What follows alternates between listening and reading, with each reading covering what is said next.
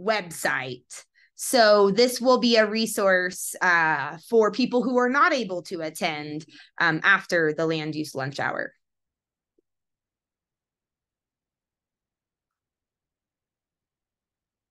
All right, so I'm going to kick it off to Sophia to get to get us started. Yeah, so again, this will just be sort of a, a high level, quick overview of the amendments, but the Tahoe Regional Planning Agency oversees uh, development in, essentially in the Tahoe Basin, um, both the California side and the Nevada side. And right now they are considering some housing amendments. Um, and these would be incentives for deed restricted, affordable, moderate, and achievable housing. And we'll go over what those different definitions mean here in just a minute. Um, essentially, they're trying to address the housing crisis. We know that there is a lack of housing for the workforce, for, for low income community members. Um, in Truckee, in North Lake Tahoe, across the state, honestly, across the country. It's it's a big problem, um, and so they are trying to identify solutions that would help incentivize developers to build some of those housing products that are needed. Um, in town centers, they are proposing unlimited density. So, uh, you know, essentially as many people as you can fit into sort of the smaller geographical area. Uh, unlimited coverage. So, you know, we'll again we have a couple slides to talk about what is coverage but it's actually the percentage of a lot that has something built on top of it. Um, and so unlimited would mean you know you could build to the very edge of something. Also increasing height i think height is an easier one for most most folks to understand. Um, you know 56 feet to 65 feet in town centers.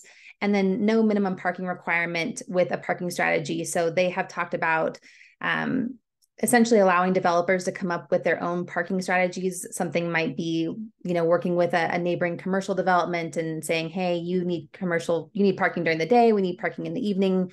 Is there some way that we can sort of share parking resources?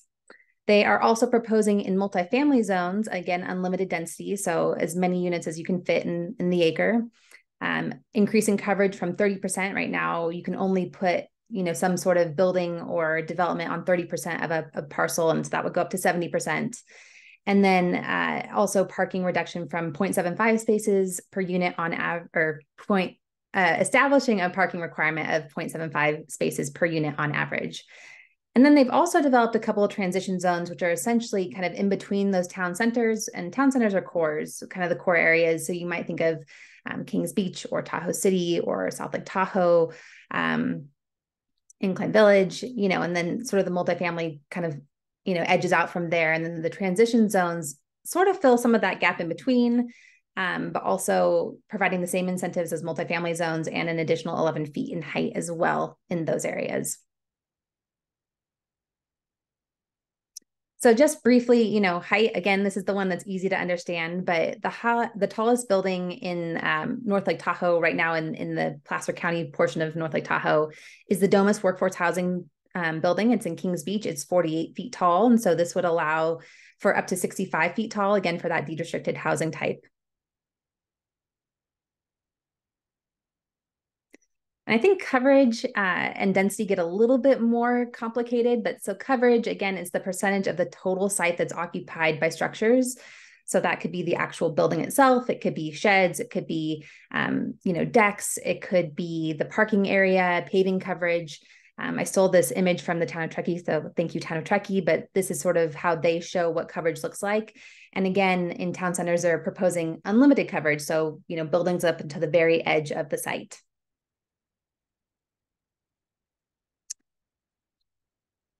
I had one more in there. I might have skipped it out on it.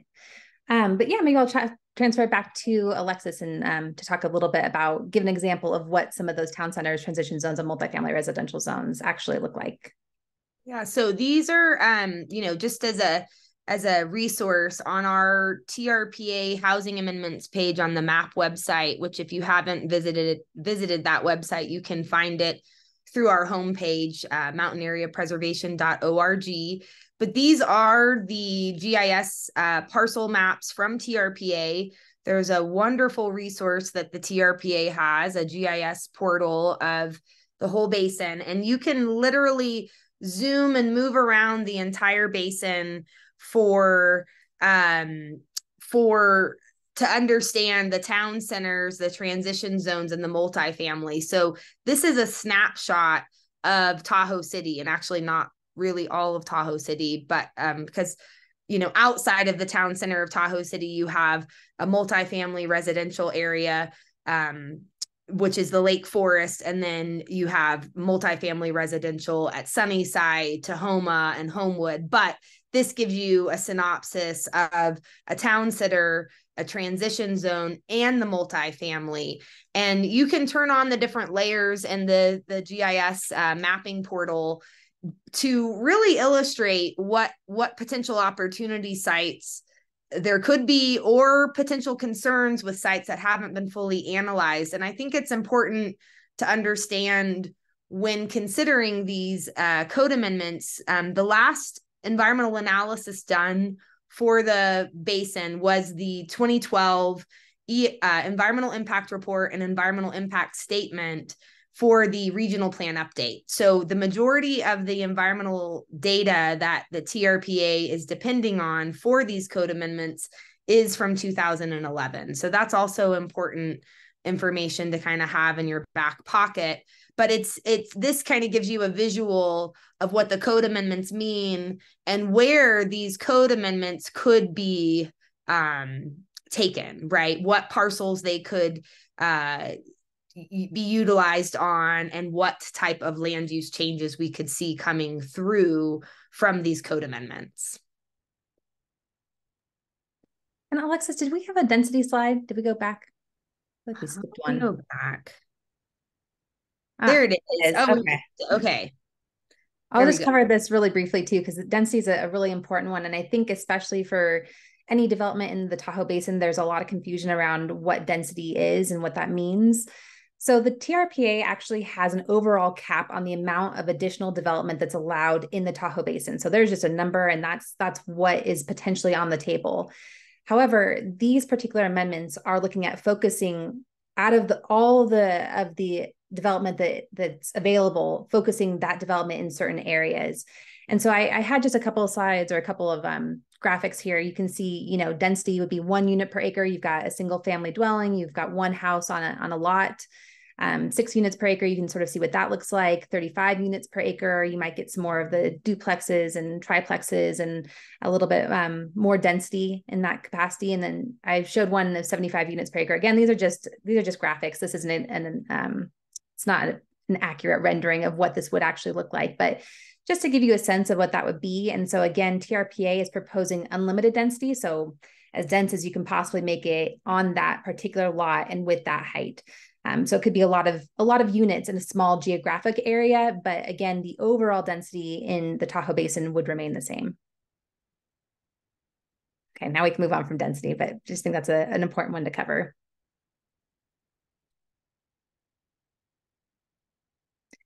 So in terms of maps concerns, we've got a number of different concerns here. I think, you know, foremost is the definition of achievable housing that that the TRPA has adopted. We think that that leaves a little bit of a, a loophole on the table um, in terms of the achievable housing definition. So right now, the achievable housing definition essentially says that a local worker has to work in the Tahoe Unified School District for at least 30 hours per week in order to qualify for um, for this housing, for this deed restricted housing. And we've heard that the TRPA is amending that definition to ensure that you have to physically work in, in the Tahoe Basin for 30 hours per week and not just, you know, work for a, a company that has a business license, maybe you're a remote worker. Um, I think that the concern here in terms of the loophole is is basically just that you know if you're providing all these incentives and you're saying okay you can you can build this achievable housing there's no income cap so that could just be market rate housing um, and we've seen in in the town of Truckee, there was an audit done on an, a, specific workforce housing project. We've seen that if there isn't really strong deed restriction enforcement, that um, sometimes these units end up going to folks who don't actually live in in the area, and it's not going to the local workers, and it might become second homes or ski leases. Um, and so it just leaves a lot on the table. We want to make sure that these units are actually going to the folks who need them, the folks who are here, the folks who are powering the community, the locals. Um, we don't want to see more ski leases. We don't want to see more second homes. And we want to make sure that if there is um, this sort of achievable housing is an option on the table, we think that more developers will want to utilize that than other kinds of development because it would require the least amount of subsidies. Um, and so we're just concerned that if the deed restriction is not really strong and that language isn't really spelled out in these codes, that we're going to end up seeing uh, more of what we already have, which is, you know, second homes and ski leases. Alexis, anything to add on that one? I was just going to add that um, a part, a part of, um, I would say some of the justification from TRPA to bring forward these types of extreme code amendments is to really rationalize that they won't need the subsidies right? So that if these if these code amendments were passed developers won't need subsidies. We have actually found out that that really the affordable and moderate and potentially achievable would still need subsidies. We all understand the cost of development is very high and the only way that you can really address the cost of development is doing modular. And we've also seen that modular housing while it is um, coming forward in the in the mountains due to snow loads there are concerns and issues with the quality of that type of development. So you know there's a number of pieces here with the achievable housing. And really if you share this breakdown of these types of housing um, you know most developers are going to pursue the type of housing that is the the the least challenging and and to bring forward and that will be more achievable. And it's not to say that that we don't need missing middle housing. We absolutely do. But if the focus is all missing middle, what sort of equity in our workforce housing are we bringing forward to the basin? And that is an issue that we have brought up with TRPA.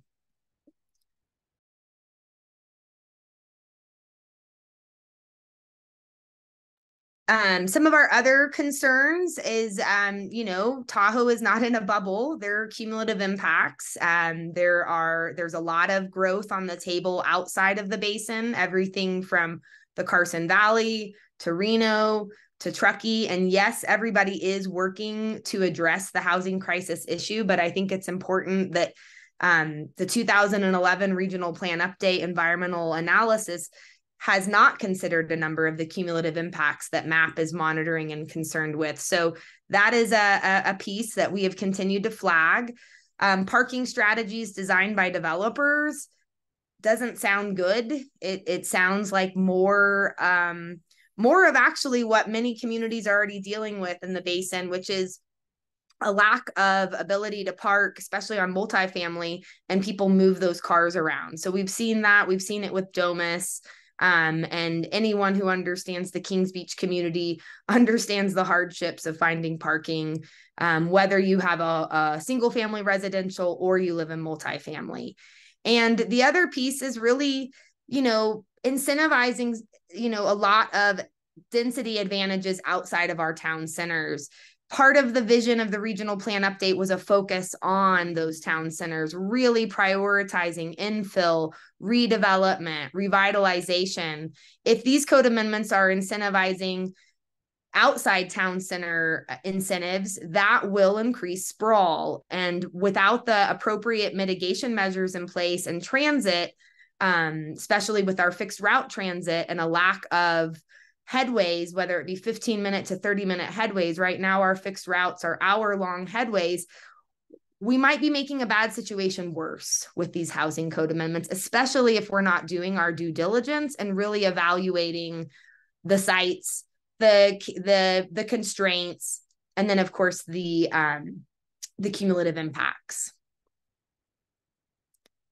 additional concerns and none of this is new to many of you because we live in a community where we we live with fire but wildfire evacuation. You know after the caldor fire many of us are are more concerned than ever about what happens in an evacuation.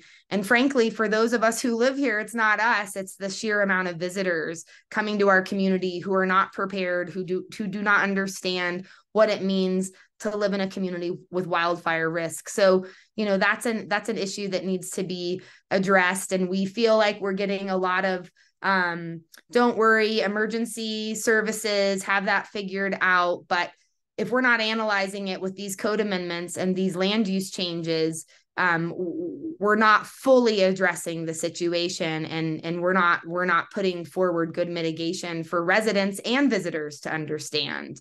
Um, tall buildings have a have a shading effect. And yes they the trpa did add in that there would be a requirement for shade analysis um, and that's great but i also think that it's it's going to be a really challenging um, enforcement to say to to limit building heights and understanding how a tall building can make an entire street or walkway never see the sun. And now you know we're all dealing with winter coming in. It's snowing right now. And you've got snow coming in. You've got uh, cold mornings and you have public safety issues with tall buildings especially in a mountain community the other piece is the scenic and community character impacts. And yes, TRPA has stringent scenic thresholds. Um, but it's still it's it it it it becomes an issue when you start to prioritize tall buildings in a mountain community and how it impacts ridge lines, view sheds, um, and then of course the public safety with tall buildings and shadow effects with not allowing enough solar aspect on your roadways to to reduce that impact. And then lack of transit it's that is nothing new. Yes we have wonderful micro transit that's coming forward but really you want to move a lot of people at once. That is increasing your headways on your fixed route transit and tahoe is behind. We we are all we always have a vision for better uh, transit and it's always waiting on more funding. So um, those are those are some of the big high level concerns with these amendments. I'm going to pass it over to Sophie to talk about the process. Yeah, so I think from a public process, this has been a very fast track timeline. Um, you know, there has been the Tahoe Living Working Group, which sort of led to the development of these amendments, and that's been going on for a couple of years, but we didn't know about it. So I'm guessing that most of the community didn't know about it either. The first that we learned about these housing amendments was actually in May with a presentation from TRPA staff to the Incline Village in Crystal Bay Citizen Advisory Board. Um, and then since then, there was a housing webinar in September. And I think that that was probably the best opportunity to actually learn about what these amendments were and ask questions. And then um, TRPA staff put out some FAQs afterward to answer additional questions. But not really a whole lot of time between that and then the full, you know, sort of approval process. It went to the Regional Plan Implementation Committee in September, Advisory Planning Commission in November, and then the second Regional Plan Implementation Committee meeting in November. And we're already at approval and adoption next week. So, um, you know, I think while there is definitely a, a, hope that the community has an opportunity to sort of weigh in and help to shape some of the amendments, there's also kind of the reality that this is happening so fast that it's really hard, I think, for there to be a lot of consideration of the input that's coming forward just because they're trying to move forward so quickly. Um, but with that, you know, next week is sort of the the end all be all, or potentially, I mean, unless they decide to postpone or decide to hold another meeting. But as of right now, that's the end all be all final meeting for these amendments. So we have developed some other ideas that we're hoping that the TRPA might consider. So first off, just limiting those incentives to town centers for now, because again, that's what the community has supported. Those town centers were really meaning, meaningfully outlined and, and sort of agreed upon by the community. So let's limit our incentives to those locations now and then consider other sites in the future. So that brings me to two. We could identify some sites outside of town centers that might be appropriate for additional density and coverage but we really need to go through a, a, thoughtful process and, and identify those specific locations rather than just saying, okay, a blanket approach, let's put this density in everywhere that's zoned multifamily.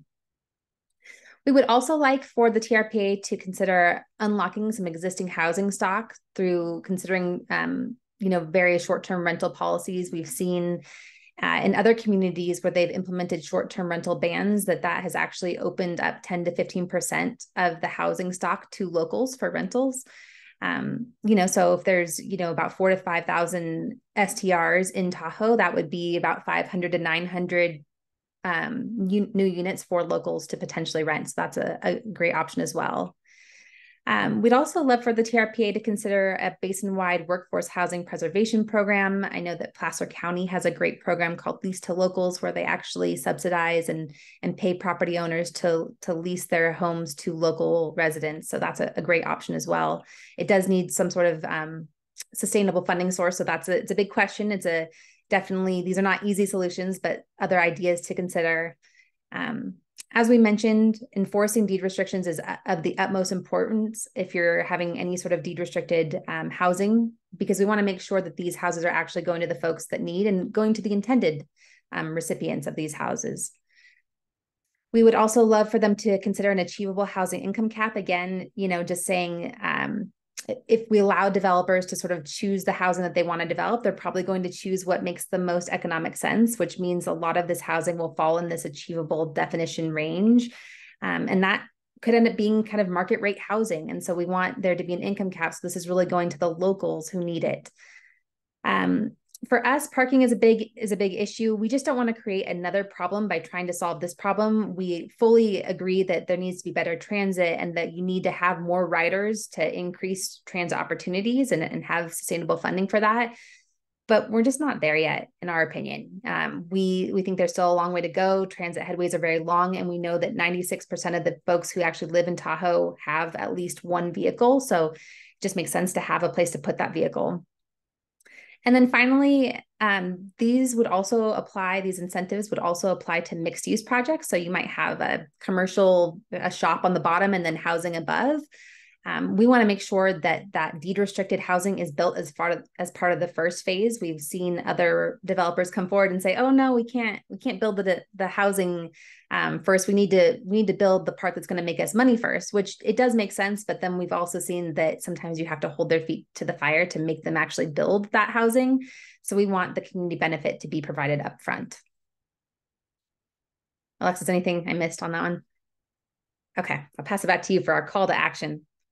Yeah. So, you know, obviously you heard during the public process timeline that this has been quick and and I can tell you for us we we have been doing the best we can to reach out to TRPA staff, to TRPA governing board members, um, our partners, our environmental conservation partners to really understand these amendments and like Sophia said, uh, we have heard that next week is the final decision. So if you have the opportunity to attend a hearing on Wednesday, December 13th, that starts at 9 a.m., you can not only attend in, in person in South Lake Tahoe, um, but you could also attend via Zoom as well.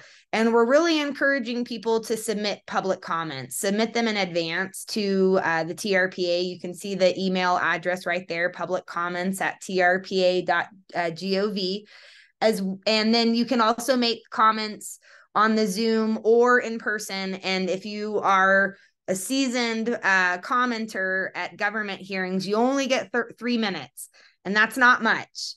It's not much to convey what you want to convey. So if you do have a lot to share, we suggest you write out, you you submit public comments in advance and then come up with a 3-minute verbal comment that maybe distills your written comments. Um, and alternatively, if if you can't do any of that, but you agree that this is not the right uh, set of code amendments, you can send our form letter to the TRPA governing board members asking for alternatives and asking for new environmental analysis. I think we have had maybe some something like 270 people have sent that letter off to the governing board members. Um, we've had many conversations with governing board members regarding um, our letter and the alternatives we would like to see considered, as well as new environmental analysis. But if there's a time to make your voice heard, it is right now. And we would love for you to participate and really bring your ideas forward because when it comes to housing um, there's lots of ideas and there's lots of solutions. There's not one solution but i think um, anyone who's living in the basin especially as a workforce employee understands that right now there is a huge equity question happening in the basin. And if we really want to further workforce housing that's meaningful and meaningful to our workforce, then we these code amendments need to be much more stringent and they and they need to be limited. Um, because it there's just there's we're too afraid that it's going to further the exact issue that we have right now. More market rate housing with some sort of local deed restriction. And i think for those of us who live in truckee we've seen the tax credit projects move forward. We've seen the local market rate projects move forward. We we've learned a lot and so if we can help the basin do a better job on driving the appropriate land uses that help to address our workforce let's do it. And so that's that's why we're having this land use lunch hour and um and we really want to open it up and and find out what questions you all have suggestions thoughts um and and really hear from from the community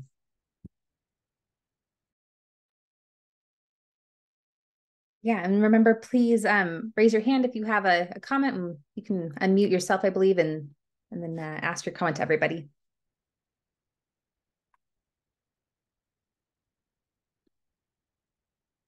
Yep, Jan, go ahead. Yeah, I was looking at the list of um, the changes you'd like to see, and I was curious, um, which of these um, do you think would do the most to increase the workforce or low income housing? Is it lowering the the rental cap? Because I think there's already a rental cap of somewhere under four thousand units. You're thinking it should be go down to 2000 or something like that or and then but more broadly which of the recommendations um, do you see yielding more workforce housing and by how much yeah i'll take that one i can start off anyway um, i think that a short-term rental cap or ban um, would be the best way to get workforce housing units the fastest um, because that's existing housing stock. So, you know, it would have sort of the quickest turnover rate. Um, you know, in terms of it, like we mentioned kind of during the presentation, in other jurisdictions that have implemented bans, 10 to 15% of the stock does turn into long term rentals um, or get sold to locals. And so, you know, again, if that's about 5,000 units in the basin. That's 500 to 900 units that could be unlocked, you know, in the next year or so if that were to be implemented and actually move forward. And I believe that the city of South Lake Tahoe, um, they actually did implement a ban recently. So I'm really curious to see how that's been functioning. It's been something I've been wanting to look into a little bit more. Um, in terms of what would bring, in addition to that, what I mean, I think that's the best, fastest solution, but maybe not an easy one politically to get accomplished. Um, in terms of bringing more units online. I don't know, Alexis, what do you think on on that one? I mean, I think part of what the TRPA is hoping is that these these land use incentives and advantages bring forward more developers to pursue these types of projects. Um, we have heard though that the low income and moderate would still need subsidies and anyone who understands what subsidies means understands that that could be years of tax credit um, applications for those federal subsidies and state subsidy dollars and again you know speaking from experience we supported the truckee artist lofts here in Truckee, they went through three rounds of tax credit projects, multiple years to then finally get that tax credit. So when a project was approved in 2015 and it doesn't commence development until 2019, that's a huge loss of time. And and not only does is it a huge loss of time, your construction costs go up. So I think a part of our concern just in general with these amendments is that if the TRPA wants to really promote um, incentives that don't require subsidies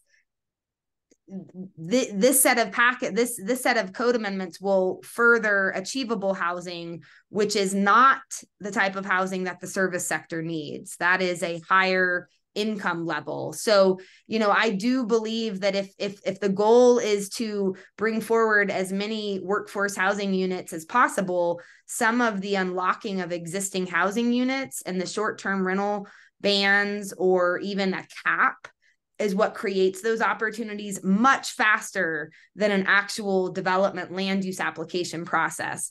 That said, within Placer County, Placer has been working on the Dollar Creek Crossing project for a number of years, and that project is set to bring forward 150 units um, in the proposal with a variety of different units. So everything from low income to moderate to a for purchase. Now, I think that's important to understand is that that all of these projects are going to have different components because one part of the project is going to help to offset the cost of the other projects. So we just heard from we just had a call before the Zoom with um, Supervisor Gustafson, and that's the that's the deal. Right now, these units are coming in at eight hundred thousand a unit. So 800,000 a unit for a workforce housing developer is very expensive.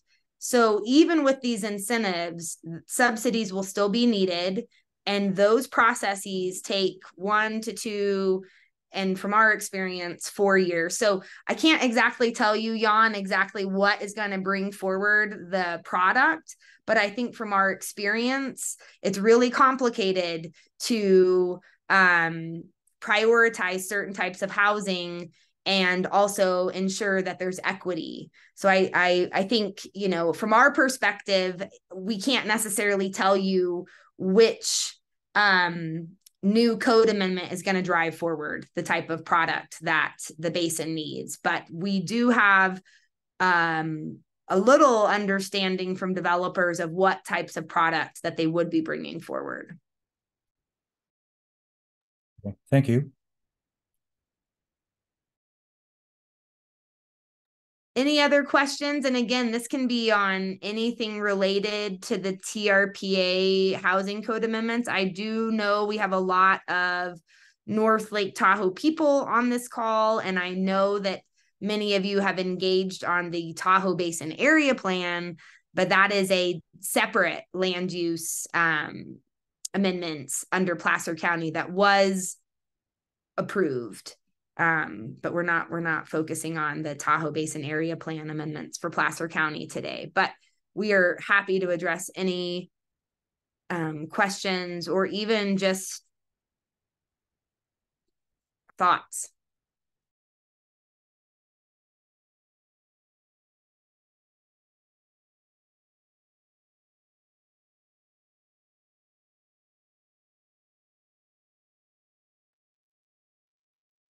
We're a quiet bunch these days. And I just also wanted to throw out there that we tried to make this simple, but it's never simple. Even as I listen to ourselves talk, I think, oh man, that was that's a little complicated. That's a little complicated. So your question doesn't have to be some sort of in-depth question either. It could just be, could you go back to density and explain that again? Like, what is it? Why? Why is the there a, a you know a growth management system in Tahoe? What does that development capacity look like? Anything is on the table. And we can also wrap up soon if, if there aren't any questions. I think I'm just going to also put out one thing because I think if you have been engaging in the TRPA meetings, it's been really confusing to understand kind of who, um, you know, for instance, Placer County has a Tahoe Basin area plan that was approved. It was approved on October 31st. It then has made its way to the TRPA hearings. And so, you know, there's been a discussion of, well, what if a county in the basin can satisfy their housing without these code amendments? TRPA has said that there is an opportunity to opt out, but after these are approved, basically all of the counties within the basin have a year to then pr- basically pursue a different plan. So I think that's another important piece to consider is um you know each county whether it's placer county or douglas county or el dorado county is going to have to illustrate to trpa that in washoe county you know trpa that they are working to satisfy housing and bring forward deed restricted housing. And i'll just add the cities can do that too carson city and south lake tahoe city of south lake tahoe